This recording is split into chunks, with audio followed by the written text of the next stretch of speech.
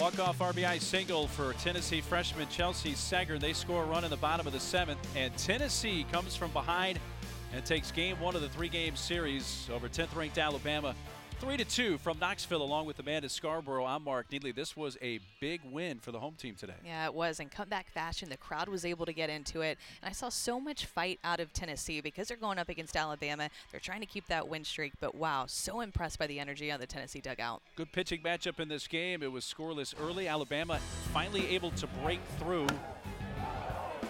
two run triple off the bat of Sydney Booker, and Alabama scores twice. That was in the fourth. That lead held up until the sixth. Yeah, it was in the sixth inning that Brooke Vines came up with the bases loaded. RBI there to cut the lead in half, and then just a weak ground ball to the first base side, but able to score the tying run on that play. Could not execute the force play. And then in the seventh, Seggern with the line drive off the glove of the second baseman Jenkins. And Tennessee wins it in walk-off fashion. They have now won 17 games in a row. Game one of the series from Knoxville. Tennessee takes it over 10th ranked Alabama by a final of 3 to 2.